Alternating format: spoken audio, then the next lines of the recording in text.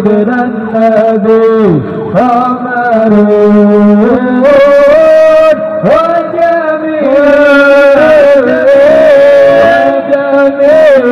وجميل وجميل سيدنا النبي وجميل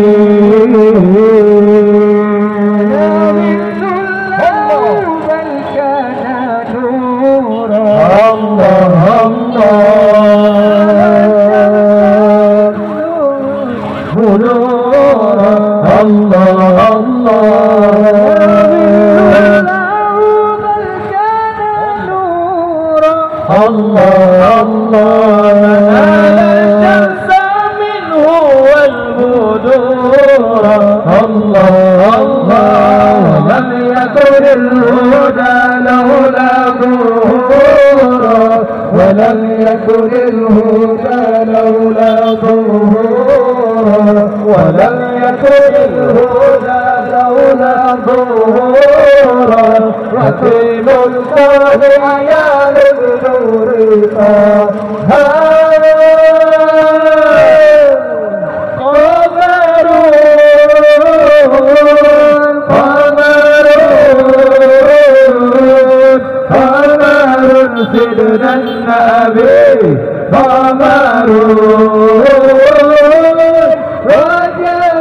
وجميل وجميل وجميل سيدنا النبي وجميل يا إمام الروح يا سندي الله الله.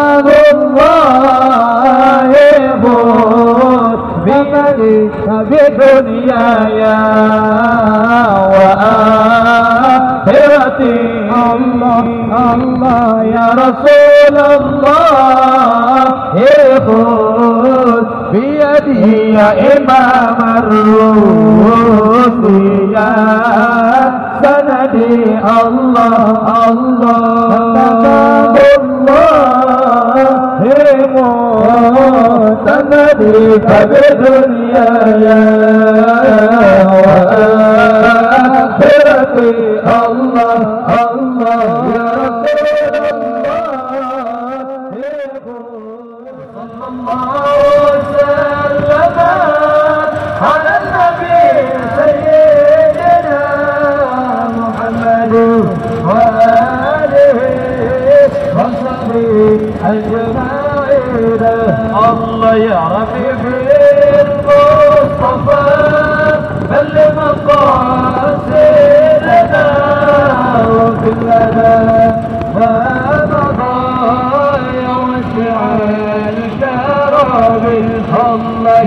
Big, big.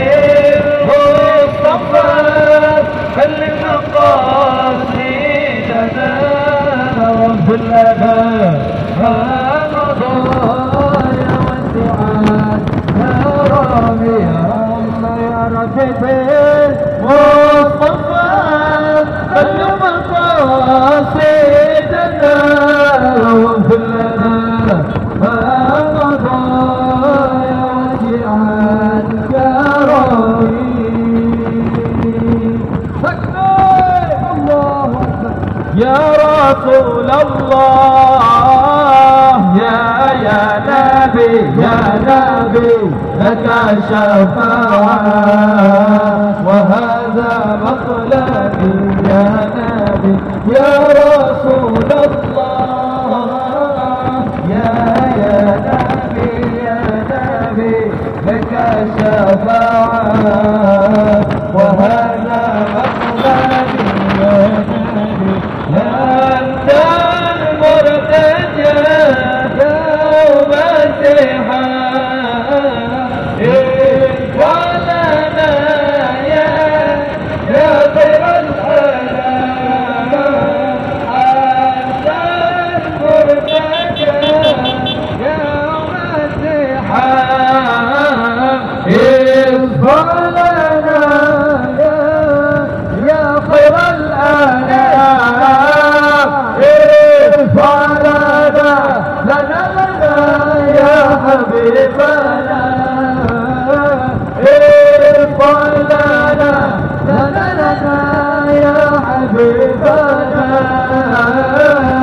لك شفاعة يا رسول الله يا يا نبي يا نبي يا رسول الله يا يا لك شفاعة. وهذا مطلبي يا نبي يا رسول الله.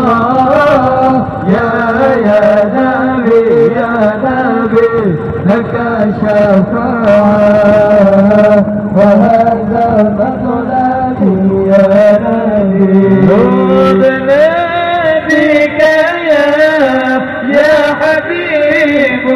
هدى للخلقية يا طبيب نوزنا بداية يا حبيب هدى للخلقية يا طبيب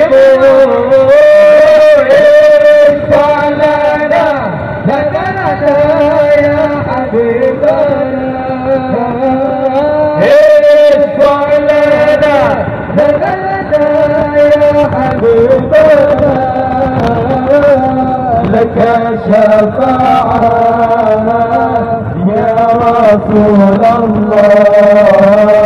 يا يا نبي يا نبي يا رسول الله. يا يا نبي يا نبي لك شفاعة. وهذا مطلبي يا نبي. يا يا يا نبي يا نبي لك شفاعة. وهذا مطلبي يا نبي يا رسول الله. يا يا نبي يا نبي لك شفاعة. وهذا مطلبي يا نبي. الله الكافي ربنا الكافي قصدنا الكافي وجدنا الكافي. لكل كافي كافنا الكافي ونعم الكافي الحمد لله الله الكافي. الكافي قصدنا الكافي وجدنا الكافي لكل كافي وافنا الكافي ونعم الكافي الحمد لله. الله الكافي ربنا الكافي قصدنا الكافي وجدنا الكافي لكل كافي كافنا الكافي ونعم الكافي الحمد لله. Allah Ta'ala Tuhan kami Nabi Muhammad Nabi kami Agama Islam agama kami. Kitab Al-Quran pedoman kami. Allahu Kafir ربنا الكافي قصدنا الكافي وجدنا الكافي. لكل كافي كافنا الكافي ونعم الكافي الحمد لله. الله الكافي ربنا الكافي قصدنا الكافي وجدنا الكافي. لكل كافي كافنا الكافي ونعم الكافي الحمد لله.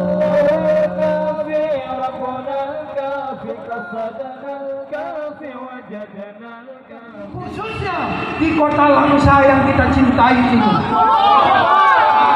Takbir! Barangkali inilah yang kami sampaikan sebagai pembuka daripada acara kita pada sore yang berbahagia ini. Kemudian, wah, marilah kita selaku umat Islam yang ada di kota Langsa, kita selaku generasi muda yang ada di kota Langsa, marilah kita cinta kepada agama Allah Subhanahu wa taala. Marilah kita dukung Mari, mari, kembali, setiap mari. kegiatan-kegiatan yaitu kegiatan keagamaan. Dengan kita cintai dengan kepada agama Allah, insya Allah kita semua akan mendapat syafaat daripada Rasulullah Sallallahu Alaihi Wasallam di hari akhirat nanti. Ayo lanjut PLT. Assalamualaikum warahmatullahi wabarakatuh. Waalaikumsalam. Alhamdulillah. Alhamdulillahi wabil alamin. Wassalatu wassalamu ala sayyidina Muhammadin wa ala alihi wa sahbihi ajmain. Amma ba. Sidang jamaah Al-Maidah yang dirahmati Allah yang dimuliakan yaitu guru kita bersama abadi yaitu telah membimbing kita selama ini di dua wilayah kota Langsa khususnya dan wilayah Aceh pada umumnya kepada seluruh jamaah Al-Maidah kami berterima kasih kepada seluruh jamaah yang telah berhadir dan memeriahkan dalam rangka menyambut satu Muharram 1446 Hijriah. Semoga dengan tahun baru Islam kita bertambah iman dan bertambah takwa kepada Allah Subhanahu wa taala. Amin. Terima kasih kepada Bapak Polisi yang telah mendukung acara kami dan selamat HUT Bayangkara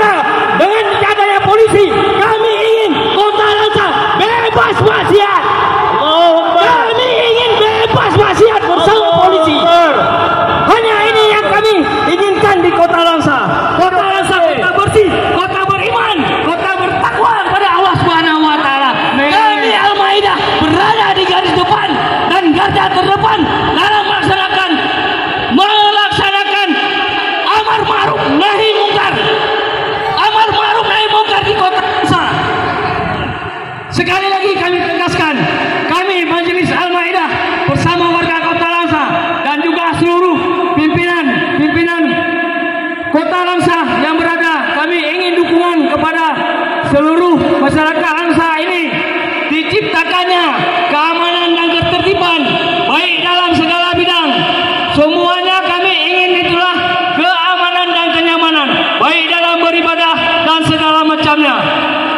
Di sini kami juga menginginkan penertiban-penertiban dan penegakan syariat Islam di kota Langsa, kota yang tercipta bersama-sama. Orang yang berhijrah adalah orang yang berpindah dari perbuatan yang dilarang oleh Allah kepada perbuatan yang diridhai oleh Allah Subhanahu wa taala. Kita Majelis Al-Maidah dan majlis-majlis yang lainnya ada di kota Langsa ini harus menjadi pionir-pionir pejuang-pejuang untuk kepentingan ini, kepentingan agama. Karena jika agama tegak, maka yang lainnya akan tegak dengan sendirinya. Tapi kalau agama runtuh, kalau agama rubuh, kalau agama kacau balau, maka yang lainnya pun tidak ada arti. Untuk apa hidup kita hidup kaya raya, mewah dan sebagainya, tapi tidak ada ridha Allah Subhanahu wa taala. Lebih bagus kita hidup apa adanya sederhana, tapi dalam ridha Allah Subhanahu wa taala. Oleh karena itu, Bapak-bapak Ibu-ibu sekalian, dalam kesempatan yang singkat ini, karena sebentar lagi kita akan bubar, kami ingin berpesan perjalanan kita keliling kota Langsa sambil tadi berselawat adalah berselawat dan berzikir adalah memberi pesan kepada seluruh penduduk kota Langsa, saudara-saudara kita, seiman dan seakidah, bahkan yang non muslim sekalipun untuk kita sama-sama menjaga keharmonisan, ketertiban dan tentunya karena kita Aceh sudah mendeklarasikan syariat Islam, kita wajib menjunjung menjunjung tinggi nilai syariat Islam baik dalam pemerintahan maupun dalam perekonomian maupun dalam kehidupan sosial kemasyarakatan. Dan inilah kita menjadi bahagian daripada perubahan tersebut. Karena Rasulullah sallallahu alaihi wasallam bersabda, "Man kana yaumuhu khairu min amsi, fahuwa rabih." Kalau hari ini lebih baik pada hari kemarin, maka dialah orang yang beruntung. Maukah kita menjadi orang beruntung? Mau? Siap? Kalau siap, maka jadikan hari ini, tahun ini lebih baik pada tahun yang kemarin. Sebaliknya, angka yaumuhu misla amsi, fahuwa rabih. Siapa yang hari ini sama saja di hari kemarin, maka dia khasir, dia orang yang rugi. Netem do rugo. Netem rugo. Naila burun tem rugo. Menyahan tunyo dalam kedua hamba Allah. Dan usaha tanyo maksimal berlebih daripada tun yang kau ikut bahkan yang lebih mupalolong. Yang lebih celaka lagi. Mangkana yaumuhu syarrun min amsih. Hari ini lebih buruk daripada hari kemarin. Tuan yang kali kun nak ajak bu almidahnya kah nak ajak umpama ha? Umpama nyo mal'unun ke begah bangkrut total. Kan le merugo. Bang? Bangkrut. Tata, buka kedai kopi lagi yo. Atau buka toko. Nanti bangkrut. Nanti bangkrut. Menyahan berarti berlebih gacit dalam kehidupan.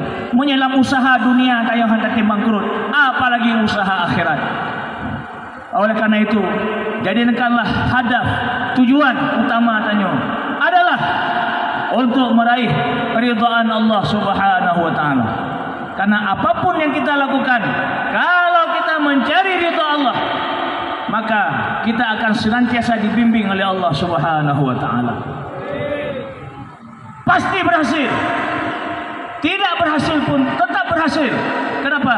Karena ada ridha Allah di dalamnya. Tapi kalau tidak ada ridha Allah walaupun berhasil nampaknya berhasil tapi sesungguhnya itu gagal ini yang perlu kita pahami kita orang yang beriman kita ada landasan Al-Quran, hadis, ijma, qiyas dan ijtihad para ulama-ulama. Itulah sumber kita. Apalagi kita di Aceh oleh pemerintah telah membuka lebar-lebar kepada orang kaum muslimin di Aceh untuk melaksanakan syariat Islam dengan murni dan konsekuen. Puya Tidak ada yang kita takuti. Secara peraturan negara kita boleh dari Allah dan Rasulnya apa lagi. Cuma tentunya jika kita berhadapan dengan satu dua saudara kita yang belum sadar, mari kita sadarkan baik-baik. Mari kita rangkul, kita ajak arbaun tarfa'ul abada ila a'la darajat walau qalla ilmuhu wa amaluhu berkata Syekh Junaid Al-Baghdadi ada empat perkara akan mengangkat derajat seorang hamba ke atas derajat yang tinggi walaupun sedikit ilmunya dan sedikit amalnya. Ya, nyo dengar begal. Ya. Tanya sahabat mendumnya lebih-lebih kurun. Ada lon kecil lagi drone ni. Hana le amal hana le ilmu. Walaupun kita nyodit amal di ilmu tapi menyenaput perkaranya maka kita akan diangkat a'la derajat derajat yang tinggi